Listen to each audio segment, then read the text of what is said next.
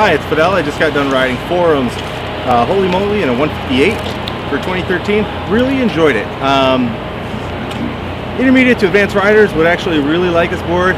Great all mountain board. I did not like it when you really tried to put the throttle down. I felt a little bit sketchy. Um, but again, that's, you know, in a 158, I would prefer this board in a little bit longer size. But overall, for the right size person, four to five stars, it's great.